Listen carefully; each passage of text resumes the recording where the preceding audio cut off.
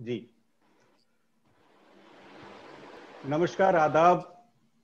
Freedom express में आपका स्वागत है और मैं हूँ रविंद्र कुमार और आज हमारे साथ हाथरस रेप कांड मामले पर हमारे साथ आज योगिता बयाना जी हैं। योगिता बयाना जी समाज सेविका हैं। इसके साथ वो परी जो ऑर्गेनाइजेशन है, उसकी भी चेयरपर्सन है और सामाजिक मुद्दों को लगातार उठाती रहती हैं और हमारे साथ वरिष्ठ पत्रकार और दलित चिंतक अनिल चमड़िया जी भी मौजूद हैं। अनिल जी, आपका भी बहुत बहुत स्वागत है और योगिता जी, आपका भी फ्रीडम एक्सप्रेस पे बहुत बहुत स्वागत है। मैं पहला सवाल योगिता जी आपसे करना चाहूँगा। हाथरस रेप कांड को लेकर के जो नई जो खबर खबर जो अब देखने को मिल रही है, वो ये मिल रही है कि वो कॉल डिटेल उस पीड़िता की और उस लड़के की, संदीप गहलोत जो लड़का है, उसके बीच कि कॉल डिटेल एक सामने आ रही है और हैरानी की बात यह है कि मैं आपसे ये जानना चाहूँगा कि कॉल डिटेल ऐसे मामले में क्या पुलिस या ऑर्गेनाइजेशन ले सकती है? इसके बाद एक और मैं आपसे गंभीर सवाल पूछूँगा। देखिए मुझे नहीं पता ये मैटर ऑफ़ इन्वेस्टिगेशन है और ये कैसे लीक हो गया, ये भी बहुत मुझे हैरानी की बात है कि जब ये ये सारी चीज़ें अभी मतलब इन्वेस्टिगेशन के अंदर चल रही हैं और कैसे वो बाहर आ गई हैं और कैसे वो शेयर मीडिया से की जा रही हैं या मतलब उनसे सवाल किया जा रहा है। मुझे बहुत दुखी करता है ये सब। मान लीजिए पीड़िता जानती भी थी, मान लीजिए पीड़िता का प्रेम प्रसंग भी था, उससे वो जो मर गई है, उसके साथ जो बर्बरता हुई है, रेप को लोग सवाल कर रहे हैं। रेप के सवाल से पर मर्डर को कोई उठा ही नहीं रहा है। उसकी हड्डियाँ टूटी है, वो उसकी हालात तो हमें दिख रहे थे वो वीडियो में। उसको कोई सवाल नहीं करे कि उसके साथ बर्बरता हुई है। वो चाहे वो सेक्सुअल बर्बरता हुई है या फ़िज़िकल हुई है, हुई तो है, तभी तो उसकी जान गई है। उस चीज़ का जो बड़ा सवाल है ना, उसको छुपाने के लिए ये छोटी छोटी उलझनों में घुमा दिया है। मैं कहती हूँ, जानती होगी, हो सकता है बात भी करती हो तो does not cover the bigger crime दो गलत, एक सही नहीं कर सकते ना चीज़ों को। तो मेरा उससे ऊपर का सवाल है कि एक लड़की मरी है एक लड़की का मर्डर हुआ है एक लड़की के साथ शारीरिक प्रताड़ना हुई है। अब वो सोच जॉन प्रताड़ना है या नहीं है बस वही तो मैटर ऑफ़ इन्वेस्टिगेशन तो है। एफआईआर में भी है जो जी और उसकी डाइंग डिक्लेरेशन भी कहती है कि वो अगर मरते हुए वो बोल गई है कि मेरे साथ हुआ तो मानना चाहिए ना आपने कानून क्यों बनाए फिर ऐसे? आपके कानून तो कहते हैं कि जो डाइंग डिक्लेरेशन है उसको माना जाएगा। और अभी आप पीड़ित परिवार पे सवाल उठाने लग गए। जी। जी। अनिल जी अब मैं आपसे सवाल करना चाहूँगा कि इस मामले में जब ये कॉल डिटेल निकालने की बात आई है तो क्या ये पीड़िता के साथ अन्याय नहीं है? एक तरह से ये तो ऐसे दिखाई दे रहा है कि पीड़िता का ये एकदम से चरित्र हनन ही की कोशिश की जा रही है और पूरे मामले को भटकाने की कोशिश की जा रही है। देखिए मैं पहली बात तो ये बताऊँ आपको कि ये कोई नई बात नहीं है। अगर भौरी देवी का कांड हम याद करें राजस्थान में जी। और ये नब्बे के आसपास घटना हुई। जी।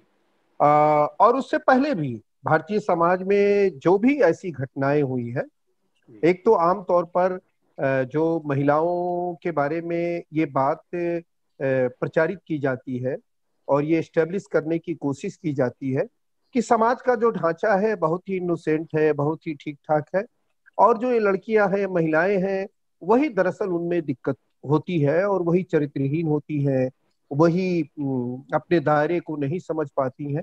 ये बहुत पुरानी बात है। इसीलिए मैं ये जो हाथरस की घटना में जो कुछ भी आ, कहा जा रहा है यानी कि हाथरस की घटना को भुला देने के लिए जो भी तरह के की की कोशिश की जा रही है वो कोई नई बात नहीं है। अब ए, ए, मैं मैं एक बड़ा सवाल जो हमारे सामने है और वो बड़ा सवाल ये है कि क्या सरकार जो हमारी होती है, वो क्या पीड़िता की विरोधी होती है? जो पीड़ित होते हैं, क्या विक्टिम होते हैं, क्या उसकी वो विरोधी होती है?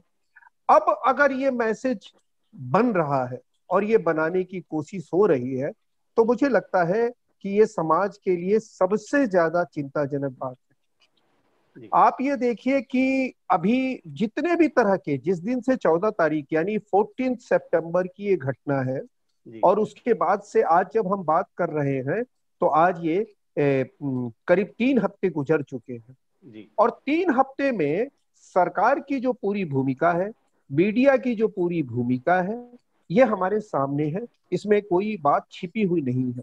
वहाँ का जो प्रशासन है वो सरकार का ही प्रतिनिधित्व करता है और वो उसका भी जो पूरा चरित्र वो उसका भी जो पूरा व्यवहार रहा है उसकी जो। कोशिश रही है वो हमारे सामने मैं ये कह रहा हूँ कि ये जो भी अभी जो भी अखबार में टेलीविज़न में जो जो ब्रीफिंग दी जा रही है वो ब्रीफिंग दरअसल इस पूरे जो एक वातावरण बना है समाज में इस तरह की घटनाओं के खिलाफ जो वातावरण बना है और इसकी जो इसके जो राजनीतिक जो संरक्षण है उसके खिलाफ जो एक माहौल बना है उसको डाइवर्ट करने के लिए अभी रोज ब रोज कुछ ना कुछ नई बात आएगी। जी। और वो कोशिश होगी क्योंकि आंदोलन जी। जी। मैं आपसे एक और सवाल पर आऊँगा। योगिता जी जी।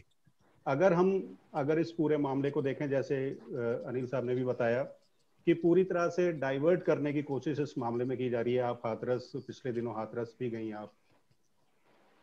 इस पूरे मामले की अगर सं, संजीदगी को देखें तो इसमें ऐसा कोई भी पेच नहीं है जिस पर यह सवाल खड़ा होता हो कि पीड़िता के साथ ये घटना नहीं घटी।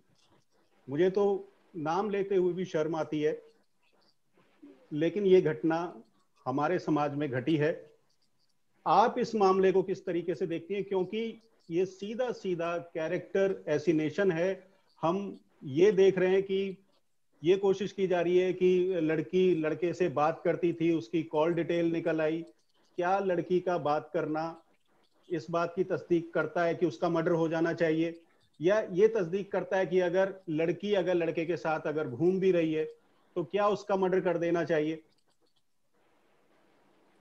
मुझे तो मतलब मेरे पास शब्द नहीं है मतलब और specially mainstream media media इसको बुना रहा है। कल भी मैं हाथरस में थी और मैं आपको बता नहीं सकती हूँ, पीड़िता के परिवार को वो कॉल डिटेल जब निकली, उसको लेके एक बड़ा चैनल है, बहुत बड़ा चैनल है। मेरा मन किया मैं उस एंकर की पिटाई कर दू, सच्ची आपके चैनल पे बोल रही हूँ मैं। उसने पीड़िता के परिवार को जो जो खड़ी खोटी सुनाई चैनल पे, ये देखिए आपकी बेटी बात करती थी, ये देखिए आपकी बेटी बात करती थी। आपको शर्म नहीं आती, आपने झूठ बोल मतलब मुझे रोना आ रहा था, मेरे को समझ नहीं आ रहा था कि ऐसे भी हमारे समाज में ऐसे जर्नलिस्ट भी हैं और सच, सर ने अभी कितनी अच्छी बात बोली कि भवरी, ये कोई नई बात तो नहीं है, पर एक जर्नलिस्ट से एक्सपेक्टेड नहीं था। और सारे चैनल सुबह से यही दिखा रहे हैं। मुझे नहीं समझ आता ये एजेंडा कि अब ये देश रहने लायक रह भी गया कि नहीं। आई एम सॉरी मैं बहुत दिल से बात कर रही हूँ। मैं नहीं बात कर सकती हूँ normal like any other panelist मेरे को, मैं जो बात कर रही हूँ, मैं बिल्कुल मेरे दिमाग, कल से मैं बहुत परेशान हुई ये सब चीज़ें देख के। और जो ये भवरी देवी की बात कर रहे हैं, फिर ये सीता माता की बात करते हैं, ये तो अयोध्या है, राम मंदिर है मतलब सीता माता को तो आपने छोड़ा नहीं और फिर आप राम मंदिर बनाने चले मतलब बात करती थी तो मार दो मतलब क्या है ये मतलब? फिर ठीक है जस्टिफाइड है, फिर मर गई तो ठीक है, कोई बात नहीं, क्योंकि वो लड़के से बात करती थी तो मर जाना ठीक है। तो ऐसे देश में मैं रह रही हूँ, मुझे बहुत शर्म की, शर्म लगती है मतलब I can't tell you what I am feeling right now आप हाथरस में थी, पूरी इन्वेस्टिगेशन को आपने, आप करीब से देख रही हैं। तो इन्वेस्टिगेशन के पहलू से मैं आपसे जानना चाह रहा हूँ कि इस केस को क्या डाइवर्ट करने की कोशिश की जा रही है? नहीं केस को डाइवर्ट नहीं अटेंशन को डाइवर्ट करने की कोशिश की जा रही है। देखिए, मूर्ख राजा, मूर्ख जनता। जनता भी मूर्ख है। बिल्कुल मैं बोलूँगी खुलकर आपके चैनल पर। जो दिखाया जा रहा है, मुझे सिर्फ़ सुबह से क्या, मुझे कल से इतनी कॉल्स आ रही है। देखो, जिसके लिए तुम लड़ रही थी, वो तो खुद ही कैरेक्टरलेस निकली। मुझे तो जनता, इसीलिए हमारे देश में रेप रुकेंगे नहीं, क्योंकि हम डिजर्व करते हैं ऐसे रहना। क्योंकि जनता डिजर्व करती है ये सब। अभी ये सब आ गया है तो सबकी सहानुभूतियाँ खत्म हो गई हैं। जस्ट बिकॉज़ वो लड़के से बात करती थी, सबकी सहानुभूति खत्म हो गई है, सब बौखला गए हैं। कवर अप नहीं है अटेंशन उनको पता है जनता मूर्ख है। इसलिए जनता को और मूर्ख बनाओ। एजेंडा दूसरा चला दो। अभी सुबह से राइट कार्ड चल रहे हैं। पता नहीं कितनी एजेंसीज में लगी थी। जो जाने वाले हैं, उन पे कितने केसेस लग रहे हैं। पचास एफ़ आई हो। सकता है मेरा भी नाम सेडेशन केस में डाल दें। कोई बड़ी बात नहीं है। कल को मुझे उठा के ले जाए ये लोग। कैसे हैं ये लोग? पूरा मुद्दा ही दबा देना है। ये आप कवर अप तो छोड़ दीजिए। कि पूरे मुद्दे को एक रिवर्स खेलने की तैयारी है। बहुत स्मार्ट मूव है सरकार का। उन्हें पता है क्योंकि मूर्ख जनता को हम मूर्ख और बना सकते हैं। इसीलिए वो लोग कर रहे हैं। बस सिंपल बात है। आपकी क्या परिवार के लोगों से भी बातचीत हुई? जी। मेरी हुई कल बातचीत। जी। तो परिवार के लोगों का क्या कहना था? परिवार लोगों का क्या कहना है? वो मैंने उन्हें मैं उनसे क्या पूछूँ क्या बताऊँ? जब उनके साथ इतनी ग्रिलिंग हो रही थी मैंने आपको बताया एक पत्रकार उनको बहुत ग्रिल कर रहे थे टॉर्चर कर रहे थे ऐसे लग रहा था इंटेरोगेशन कर रहे हैं उनके साथ। तो मुझे बहुत दुख लगा और मैंने बस बैठ के आ गई मैं उनसे मैंने उनको पूछा आपने खाना वाना खाया? क्योंकि हम लोग तो अपनी सहानुभूति प्रकट कर सकते हैं। मैं इंटेरोगेशन या सवाल करने नहीं गई थी। I wanted to be with मैं इसलिए गई थी। जी मैं अनिल साहब की तरफ़ आना चाहूँगा। अनिल जी इस पूरे मामले में जैसे मीडिया ट्रायल चल रहा है और मीडिया इस मामले में अपनी राय लोगों के सामने रख रहा है तो ऐसे ही मामलों में क्या जो जब ये घटना ऐसी घटनाएँ दलित आदिवासी या मुस्लिमों के साथ घटती हैं तो ये एक तरह का एक वातावरण क्रिएट करने की कोशिश की जाती है। तो इसका क्या मकसद होता है और ये क्यों किया जाता है? दरअसल रवि बहुत बड़ा सवाल एक है और मैं थोड़ा दुखी होता हूँ जब पैनल्स में डिस्कशन होता है। आ, हम तकनीकी बातों पर यानी कि उसके जो तकनीकी पहलू होते हैं उस पर हम ज़्यादा बातचीत करते हैं। जी। हम लोग बातचीत करने लगते हैं परिवार पर हम लोग बातचीत करने लगते हैं व्यक्ति पर। जी। मैं कहता हूँ कि ये घटना और इस तरह की घटना जी। ये परिवार का मसला और केवल विक्टिम का मसला है ही नहीं है। आप आप आप आप जो पीड़ित है और ये जो पीड़िता है और जो परिवार है आप दरअसल जब उसमें फोकस करते हैं तो इसका मतलब ये हुआ कि आप पूरे मुद्दे को पूरे मुद्दे को आप डाइवर्ट करने की कोशिश करते हैं उसको सीमित करने की कोशिश करते हैं। इसको रिड्यूस करना कहते हैं कि डे टू डे इसको रिड्यूस करते कर दिया जाए। जबकि ये सवाल मीडिया के लिए भी और सरकार के लिए भी ये सवाल समाज को एड्रेस करना है। इस सवाल में समाज खड़ा है समाज कटघरे में है। आप ये सोचिए कि हम बलात्कारियों के पक्ष में प्रदर्शन करने लगे हैं। क्योंकि हमने जो पीड़ित होते हैं जो बलात्कार के शिकार होते हैं उनको हमने रिड्यूस कर दिया व्यक्ति में व्यक्ति की जाति में व्यक्ति के धर्म में। जबकि जब हम बलात्कार की बात करते हैं हत्या की बात करते हैं तो हम एक सामाजिक जो एक ढांचा बना हुआ है बलात्कार की संस्कृति का और हत्या की संस्कृति का हम उस पर बात कर रहे होते हैं। लेकिन ये राजनीति जो है, राजनीति, राजनीतिक विचारधारा जो होती है, दरअसल वो उसका काम ही यही होता है कि अपने को कैसे वो मजबूती से बनाए रख सके। और इसमें वही हो रहा है। इस पूरे प्रकरण में भी यही हो रहा है कि जो ईसु, जो मतलब जो जो बातें इस घटना के बहाने उठती और जो एक पॉलिटिकल आइडियोलॉजी पे जो सवाल खड़े होते उन सवालों को कैसे हम इससे ढक दे? मैं कहता हूँ कि क्यों? आज की तारीख में ही सबसे ज़्यादा घटनाएँ दलितों और महिलाओं के खिलाफ हो रही हैं। क्या यह महज एक गाँव में होने वाली घटना है? क्या यह महज एक किसी राज्य में होने वाली घटना है? ये पूरा मामला आखिर में है क्या? आखिर में कोई एक लीडरशिप जब आती है और लीडरशिप जब खड़ी होती है राज्य का नेतृत्व करने के लिए या देश का नेतृत्व करने के लिए तो आखिर उसके भीतर से ऐसा कौन सा मैसेज जाता है? वो किस भाषा में मैसेज देता है कि समाज में जो आक्रमण करने वाले लोग हैं वो और ज़्यादा आक्रामक हो जाते हैं? जी। मुझे लगता है कि ये सारी गंभीर बातें हैं लेकिन जो आंदोलन में जो लोग हैं और इस तरह की घटनाओं में जो लोग इस घटना तरह की घटनाओं का विरोध कर रहे हैं उनसे भी मेरा सवाल है। उनसे भी मेरा ये सवाल है कि हम किसको रिस्पॉन्ड कर रहे हैं? हम किसको रिस्पॉन्ड करने लगते हैं? हर हर बारह घंटे पर हर हर आठ घंटे पर एक नए तरह की बात सामने आ जाती है और हमारी सारी एनर्जी और सारे हमारी वो, सारी हमारी जो क्षमता है उसके जवाब देने में लग जाती है। मैं कहता हूँ इसकी ज़रूरत क्या है? इसकी ज़रूरत नहीं है। हमको जो विरोध कर रहे हैं उस पर इस समय इस समय सबसे बड़ा चैलेंज उनके सामने ये होता है कि जो इसके भीतर जो आइडियोलॉजिकल सवाल एक विचारधारात्मक जो सवाल इससे जुड़े हुए हैं उन पर लगातार हमले करें उससे लगातार कटघरे में खड़ा करें। एक बार फिर आऊँगा एक अंतिम सवाल आपसे लूँगा और एक अंतिम सवाल मैं योगिता जी से लेना चाहता हूँ। योगिता जी एनसीआरबी जो नेशनल क्राइम रिकॉर्ड ब्यूरो है उसकी रिपोर्ट है कि जो 90 परसेंट जो रेप के जो मामले होते हैं वो आसपास के जान पहचान के लोग ही करते हैं। बावजूद इसके, हिंदुस्तान में, जो भारत में रेप के मामले लगातार बढ़े हैं, और अगर पिछले दो साल की बात करें तो उसमें इस आंकड़े में इजाफा हुआ है। तो आप इसे किस नज़र से देखती हैं? देखिए, बिल्कुल ठीक है। ये बात तो है कि 90 परसेंट जो केसेस हैं, वो घर की चार दीवारी के अंदर होते हैं। यही तो मामला, हमें चेंज करना है। मैं तो कह रही हूँ, जाइए घरों तक पहुंचिए। ये ये सजेशन मैंने पहली सरकारों को भी दिया था, अभी भी देती हूँ। ऐसा नहीं है, रुक नहीं सकते, रुकना चाहते नहीं है। लोग की राजनीति, जैसे कि सर ने बोला, राजनीतिक जो लीडरशिप है, इनकी ज़ीरो है। इनको कुछ करना नहीं है। अगर ये, अगर घर पे भी होते हैं तो रुक सकते हैं, ऐसा नहीं है। आप पॉपुलेशन चेक करने के लिए घरों तक जाते हैं, आप वोट मांगने घरों तक जाते हैं, आप रोकने के लिए घरों तक जाइए ना। दरवाज़ा खटकाइए बच्चों से पूछिए जैसे अब्रॉड में और कंट्रीज़ में होता है एक चेकलिस्ट लेके जाइए बच्चों से बात कीजिए साइकोलॉजिस्ट मनोवैज्ञानिक बात करेंगे आपके साथ कुछ गलत तो नहीं हो रहा क्या हो रहा है घर तक पहुंचिए विक्टिम आप तक ना पहुँचे आप विक्टिम तक पहुंचिए ना क्यों नहीं पहुँचते आप? तो आप देखिए कितना बड़ा इजाफा होगा सच में दस परसेंट से भी कम केसेस हैं जो बाहर आ पाते हैं जिनकी हम इतनी चर्चाएँ करते हैं। जी। का दलित होना अपराध माना जाए अगर वो दलित है तो उसके साथ पूरा न्याय नहीं होगा।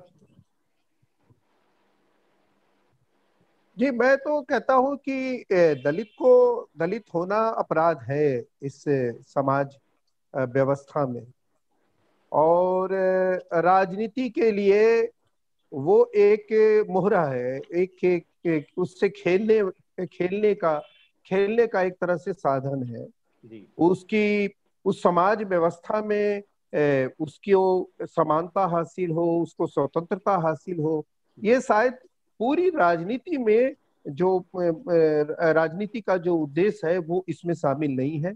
ये तो बात मैं बिल्कुल साफ़ तौर पे कहूँगा।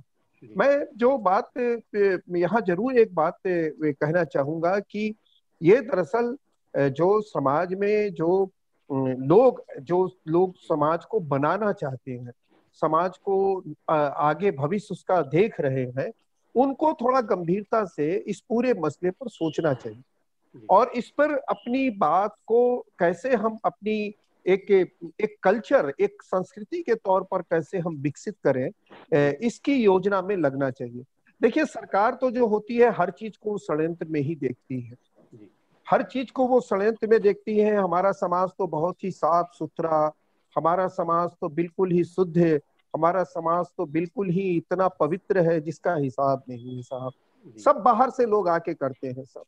और ये एक एक जो मैं बार बार कह रहा हूँ कि एक विचारधारा का एक इंस्ट्रूमेंट है कि वो कैसे बाहर के नाम पर बाहर के नाम पर अंदर समाज के भीतर आक्रमण की एक पृष्ठभूमि तैयार करता है। ये एक राजनीतिक विचारधारा से जुड़ा हुआ मसला है।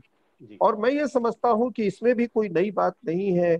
ये अंतरराष्ट्रीय साजिश है या अंतरराष्ट्रीय षड्यंत्र है वही मैं फिर अगेन वही कि हम लोग उसी को रिस्पॉन्ड करने लगते हैं और फिर हम लोग उसी का जवाब देने में लग गए हैं।